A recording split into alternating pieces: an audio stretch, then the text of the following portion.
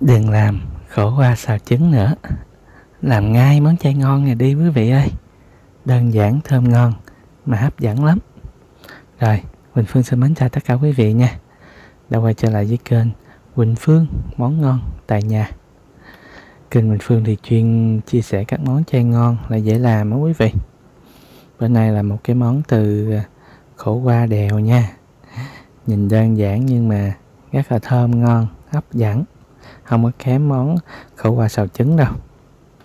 Rồi, bây giờ thì à, Quỳnh Phương mời quý vị cùng vào bếp để thực hiện cái món à, này với Quỳnh Phương nha. Đây là khổ qua đèo nè. Khổ qua đèo thì à, Quỳnh Phương có khoảng 6 7 trái. Trái nhỏ nhỏ không nè, nó cong veo hết trơn rồi nhưng mà bây giờ mình sẽ đem đi chế biến. Trước tiên thì cắt vỏ cái phần cú với cái phần đuôi đi. Tại vì nó có mấy cái chỗ mà nó hơi à, sao bị sâu quá quý vị. Nên sau khi mà à, mình cắt bỏ cái phần cuốn xong á thì chúng ta sẽ bắt đầu đem đi à, cắt làm đôi nha. Để mình à, xem ở bên trong nó có à, bị sâu không. Đó, tại vì mấy trái này cũng già hết rồi. Nên quý vị xem nè cái phần hạt nó cứng lắm mình Phương phải à, tách loại bỏ hết. Đây. Đó, tách bỏ ha. Như cái này nè nó bị sâu nè. Bị sâu một xíu thôi. Thôi mình Phương tách loại bỏ luôn nha.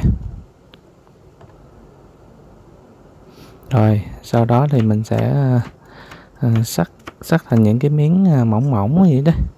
Nhưng mà cũng đừng có mỏng quá quý vị sắc lắc lát vậy đó. Có sáu bảy trái của quà rồi. Nhưng mà xào cũng khá khá đó quý vị cũng được một dĩa đó. Rồi sắc xong rồi. Giờ mình sẽ bắt đầu mình đem đi. Mình bỏ vô cái thao đi. Mình phương bỏ vô cái hết vô cái thao này. Đó, bên cạnh đó thì mình chuẩn bị thêm à, khoảng 5 cọng đầu đũa nha.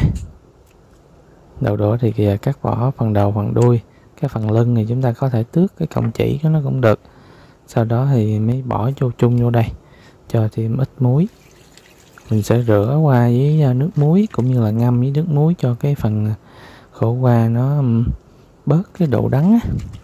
rồi bóp với nước muối thì là kỹ. Và mình để khoảng 5-10 phút vậy đó mình ngâm trong cái nước muối pha loãng này nè.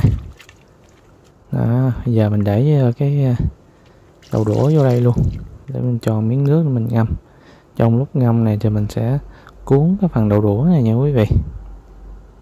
Đó, bình thường sẽ cuốn đậu đũa, cuốn tròn tròn vậy đó. Nó cuốn khéo khéo để một lát đó. nó ít bị bung ra nha. Cọng dài thì mình cuốn to to xíu. Còn mấy cái cọng nhỏ nhỏ thì à, bình phương sẽ cuốn nhỏ nhỏ. Rồi, sau khoảng 10 phút thì bắt đầu mình à, đem ra, mình rửa sạch lại với nước nha. Rồi sau đó để ráo đi. Thì chuẩn bị thêm à, cho Quỳnh Phương à, hai miếng đậu hũ nè, đậu hũ trắng nha. Đậu hũ này thì mình sẽ tán nha nó mình dùng muỗng mình ép, mình tán ra. Tán cho nó nhuyễn ra là được. Rồi, vậy là được rồi đó quý vị, cô không cần nhuyễn lắm.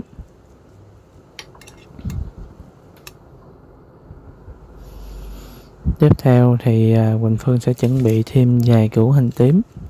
Nếu củ, củ hành to thì mình dùng một củ là được rồi. Củ hành nhỏ nhỏ thì 6 vị củ. Đập chập chập ra. Sau đó thì cứ à, cắt nhỏ rồi băm sơ sơ thôi. Cũng không cần băm nhuyễn lắm. Rồi, gì là được rồi nè. Dù Quỳnh Phương để qua bên tiếp theo là bắt cái nồi nước lên. Rồi chúng ta cho khoảng muỗng canh muối gì đó. Muỗng ít ít gì đó. Nó đợi nước sôi lên. Lớn lên thì bắt đầu mình cho nè khổ qua nè. Cũng như là à, đậu đũa mình cho vào hết luôn. Để mình chặn sơ qua cái à, nước sôi một cái. Cái phần đậu đũa cũng vậy nha. Thì mình chặn đều với cái phần khổ qua luôn. Nó đảo qua đảo lại thì mình chần trong cái nước sôi lớn này nè khoảng à, 2 phút là được rồi đó. Đảo qua đảo lại một xíu nhìn cái màu à, khổ qua cũng như là cái màu đổ đũa mà nó chuyển qua cái màu xanh xanh mà đậm đậm như đó là được đó quý vị. À, lúc này là mình chuẩn bị ở ngoài một cái thao nước lạnh có thể để đá vào càng lạnh càng tốt. Đó, hoặc là nước lạnh á mình để cho tủ lạnh xíu mình lấy mình làm cũng được rồi, giờ Quỳnh Phương à, mấy, sau khoảng 2 phút thì Quỳnh Phương sẽ vớt cái phần khổ qua này ra. Đó, mình cho hết cái phần khổ qua nè, với cái phần đậu đũa quý vị. Cho hết vào à, cái thao nước này, nó sẽ giúp giữ cái màu xanh của khổ qua cũng như là đậu đũa. Khi mình lát mình chế biến á, nó còn nhìn rất là đẹp mắt nha để trong nước khoảng phút là lấy ra được rồi. Bây giờ mới bắt cái nồi. Xin lỗi quý vị là cái chảo vô. Lên. Mình cho ít dầu vô để trước tiên là mình đem đi mình uh, chiên. Chiên cái phần đậu đũa nha. Đó, chiên với lửa lớn thì mình chiên nhanh. Đó, mình đảo qua đảo lại khi nào mà thấy nó vàng một mặt là mình chảo qua mặt kia. Nó vàng đều hết hai mặt là được đó này mình có 5 cộng nha. Mình cuộn sẵn đi nè cái mình chiên. Đó nó vàng một hạt rồi đó. Cái này chiên rất là mau nha. Đó rồi mình trở qua trở lại mình xem. Rồi nó vàng hết rồi đó. Đó, mình đợi cho nó vàng vàng hết. Nó vàng nó rám vậy thôi quý vị. Nhưng mà nó vẫn còn cái màu xanh nha. Rồi giờ mình gấp ra đây mình để cho nó rút dầu một xíu thì trong chảo á, trong chảo lúc này thì Quỳnh Phương cũng đã bớt cái phần dầu ra rồi. Ừ, bắt đầu mình à, phi hành tím. Hành tím này cho nó thơm thơm lên rồi, nó vàng vàng rồi nè. Giờ cho đậu hũ vào là được rồi đó mình Phương cho hết cái phần đậu hũ vào luôn. Mình xào cho phần đậu hũ này nó săn săn lên xíu. Đảo qua đảo lại xíu rồi quý vị là được rồi. Sau đó cho thêm khoảng một muỗng lưng nghệ vào. Đó, có nghệ vào nó có màu vàng rất là đẹp nha. Rồi thì đảo qua đảo lại nhìn cho cái phần đậu hũ nó nó đều màu nó, nó chuyển qua cái màu vàng vàng hết là được đó quý vị.